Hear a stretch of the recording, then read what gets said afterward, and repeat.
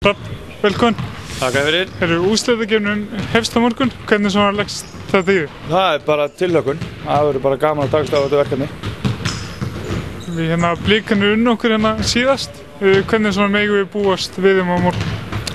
Ég veit það ekki.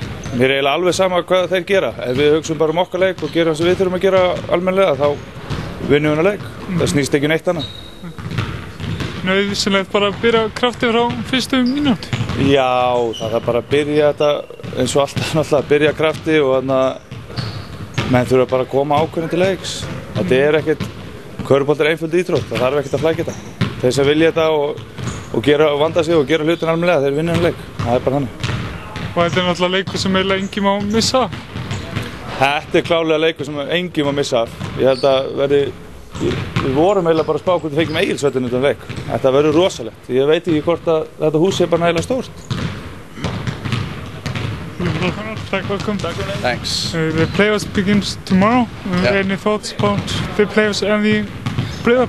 Uh, I think you know we're very excited for the playoffs to start. You know we're obviously kind of the favorites now. We have the top position, the home court, so we really want to take advantage of it and start with a strong game tomorrow. You know, play 100% and play smart, and I think we'll get the job done and get the first win. Uh, last time we yeah, lost against them. Uh, what is their main strength?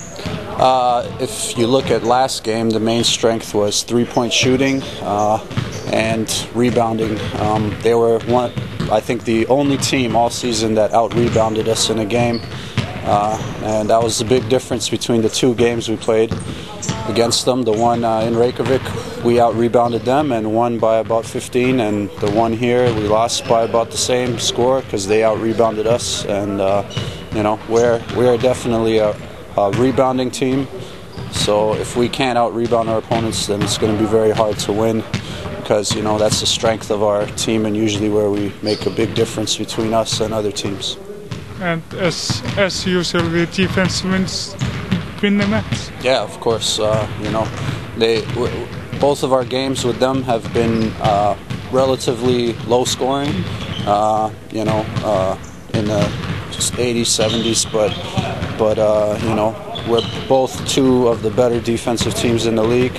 So you know it's going to be you know who can who can stop who, and we we think we have a, a, a few more mismatches and advantages than they do. So uh, you know uh, it's going to be interesting how we can play defense and how we can you know stop them from scoring.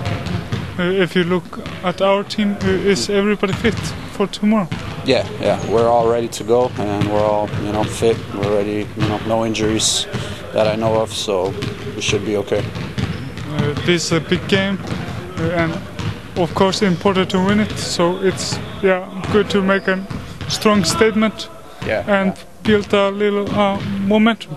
yeah. Uh, basically, you know, it's like a do or die game. We don't want to go to uh, Reykjavik and have to win the game just to keep the series going. We're at home. We, we don't have to travel. It's bad weather outside. Everything everything is, is looking like it's going our way. So you know, uh, a win would be huge. Good, thank you. Good luck. Thanks.